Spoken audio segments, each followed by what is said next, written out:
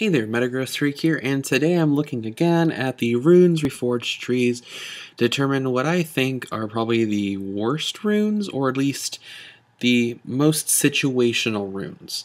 Um, so I, as you can see, I have a tab open, one for each rune page, and I'm just going to state what I think um, the, I guess, the weakest runes in each page are, and why I think they're weaker compared to their other options. Um, so I'm going to start off with the precision page, since that's one that's on the far left of the five pages. So, for example, I'm going to give the example of of how this will work. For example, overheal. I would, if I chose overheal as the worst rune, uh, as one of the worst runes in the page, I would state, oh, overheal does this, but compared to the other runes in its row, this is why it's not as good. Overheal, however, is actually a really good rune uh, because basically, as long as you have a support nearby you, or as long as you have some method of healing you, overheal can be pretty useful. Um, that's that's that, that's just a that's just an example. I actually really like overheal. So the first two from the these are from the precision tree are Legend Alacrity and Last Stand. Legend Alacrity for each unique kill. Um, and, and it's kind of weird. It, it, it uses the the legend. Uh, uses the legend uh, stacking method, which Tenacity and Bloodline also have. Basically, every time you get a champion takedown, you get I think it's a full legend stack. Epic monster takedowns give you a legend stack, and then large monsters and like eight minion kills give you like half a. It's like you need like eight minion kills for one stack, and then like two or three large monster kills for one stack. Bloodline is good because it can give you life steal, and tenacity is good because it can give you, obviously, tenacity. Um, the reason I say alacrity isn't as good is because it's so easy to get attack speed. I mean, literally, if you want attack speed, you can just get press the attack, which allows you to go above attack speed. Actually, I think it's, oh, it's lethal tempo. Lethal tempo allows you to get 80%, a 30 to 80% attack speed. And press the attack gives you bonus damage on your basic attacks. So just these two abilities alone are really good with attack speed. So you'd think that alacrity would be good. But the thing is, is there's so many items that give attack speed that really this just seems like it's kind of I don't know. It's it's not as good in my opinion. I mean, if you're going to get lethal tempo anyway with say like a Runaan's Hurricane, I guess Alacrity could be good, but the thing is there are better ways of getting attack speed and really when you could have tenacity or lifesteal. I mean, here's the thing. If I'm an ADC, I'd rather have I'd rather buy an attack speed item and then gain life steal as I go, then have to gain attack speed as I go and buy life steal. It just, if I'm playing an ADC, I'm going to itemize for attack speed because that's how ADC goes. Um, the other item I'm picking here is Last Stand. All three of these skills are pretty decent, but I think Last Stand is pretty weak in comparison. Cut down is really nice because as long as you have less HP than your opponent, you're dealing more damage. Um, this is phenomenal if you're, especially if you're playing with supports um, or ADCs. Uh, Coup de Grace deals more damage to champions who have less health. This is really good if, if for team fights or if you're in bot lane. And then we have Last Stand. Last Stand incre- gives you bonus damage if you have low health and I, to me, I just I think this is not necessarily redundant, but it's better to deal more damage to enemies that are at low health than to deal more damage yourself when you're at low health. Coup de grace will uh, uh will affect you regardless of whether you have high or low health. Meanwhile, Last Stand is just it. It requires you to basically be below 60% health for 5% bonus damage, or to have uh, it to be below 30% health if you want the maximum of 12. I just I don't find this to be a fair trade-off. Like unless you're constantly at low health, which I wouldn't recommend anyway. Last Stand just doesn't seem to be worth it when compared to either Cut Down or Coup de. Next up, I'm going in Domination, and uh, I'm going to get a lot of flack for this, but I don't like Dark Harvest. And that's compared to its other abilities. Um, Electrocute is basically Thunderlords, and it's amazing. Predator, I like getting the giant movement speed bonus, because it basically it's the equivalent of channeling for 1.5 seconds in order to gain a Dead Man's Plate bonus, because it just it gives you a massive movement speed bonus, and then attacking deals extra damage but takes away the movement speed bonus. And then we have Dark Harvest. Dark Harvest requires you to kill champions, epic monsters, or large monsters. Or, sorry, large. It says large minions. I'm assuming that means either cannon minions or super minions to gain soul essence, quote unquote. And this soul essence stacks up to when you gain. Uh, uh, it stacks up. And then once you have at minimum 150 soul essence, it gives you like bonuses, or it's like it lasts 20 seconds. To and the, the soul charge is it gives it like it lasts 20 seconds, but that gets bo- boosted to 300 seconds after you collect 150. It, it gives you bonus damage, but the thing is, is there's so many other methods to get bonus damage that I don't feel like soul essence is worth it. Like unless you're basically stacking you know, large, large uh, like large jungle creeps and you know cannon minions and champion kills like a mofo. I don't feel like this is really going to be worth it. Plus, every time you use the soul charge bonus damage, you consume your your souls. So you then have to regain souls every single time. I don't like that. Um, I just don't think it's worth it, especially compared to Electrocute, which is pretty dang good. I mean, even sudden impact is pretty cool. Sudden impact is phenomenal, giving you like magic pen and lethality. Basically, whenever you use your dash, leap, blink, or teleport, that's really cool. I don't know. It just I don't think it. I don't think Dark Harvest is going to be worth it. Um, the other option I chose here was Ghost Poro. I think Ghost Poro is kind of cool, but at the same time, I think it's also the most limiting compared to the other two.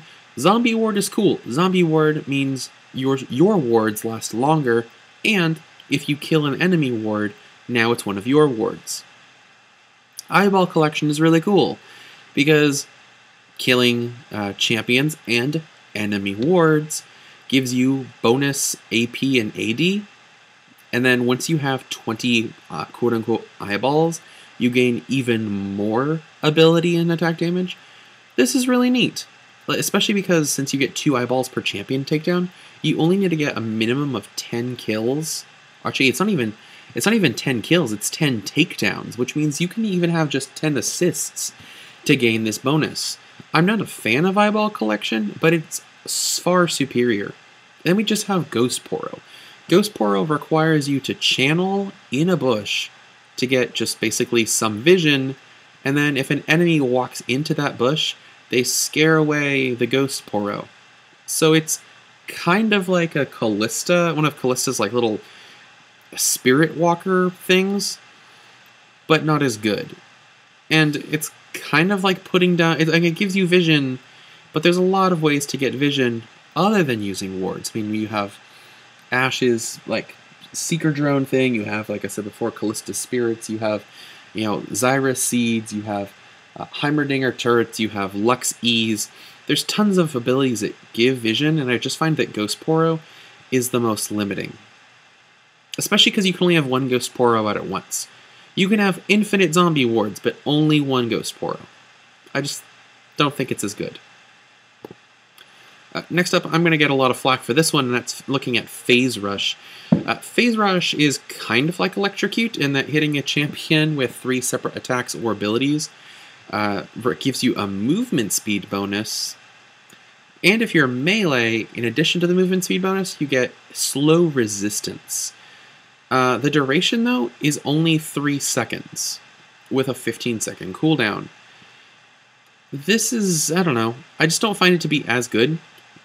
If you're using a champion like, say, Kha'Zix or Zed, who can just spam abilities to take out enemies, why aren't you using, you know, domination? I mean, I just find electrocute to be significantly better than this, and electrocute has more. Uh, it just it has more of that adaptive damage. I don't know why you would choose phase rush over electrocute. That's just my opinion. Because uh, I don't really, I mean, maybe I'm maybe I'm just not thinking of it right. Like I'm sure if you use this on a character like Ekko, phase rush can work, but I don't I mean, especially considering how good the uh, Arcane Comet and Summon Aerie are, I just find Phase Rush to be the most disappointing of the three. And the other option I'm choosing for the Sorcery Tree is Absolute Focus. Absolute Focus is kind of similar to, it's kind of a similar vein to Last Stand. Uh, Absolute Focus requires you to be above 70% health to gain an adaptive bonus of either attack damage or ability power. Again, falling below 70% health is really easy, meaning you may have like a ton of power if you're attacking from range. Like, let's say you're playing a character like, you know, Xerath. If you're sniping people from max range, that's phenomenal, but the moment you go below 70% health, you lose this bonus. Meanwhile, Transcendence gives you free cooldown reduction and turns your excess cooldown into more ability power or attack damage. That alone, I think, is a better ability. And Celerity, while it has its limits, is kind of cool too. I mean, Celerity basically turns uh, give not only gives you the bonus movement speed, which is great for, like I've said in a previous video, champions like Yasuo, Janna, and Hecarim, but any bonus movement speed, regardless of whether it's from like a boots item, or say from like Lich-Bane or some other item, or you know from like Phase Rush, gives you adaptive damage. Uh, the, the point being is celerity can synergize with things. Absolute focus just requires you to have high health in order to deal more damage, and I don't know. I find that to be really situational. Next up, we're looking at Resolve, and as much as I love Resolve, I have given flack to both of these abilities that I'm looking at. Um, I'm going to do Mirror Shell first, because Mirror Shell I find to only really be good on like on characters like Galio, who have ma magic resist scaling. Nine times out of ten, in the early game, having five armor is going to be worth more than having five magic resist. Their abilities are basically the same, but considering how prevalent AD champions are, and considering how most AP champions tend to either be mages, which of course you need magic resist for, or tanks and supports, which don't really deal as much damage anyway, Mirror Shell just seems a lot less useful compared to Iron Skin. And if you really want magic resist, just get conditioning, which is arguably better plus it gives you armor.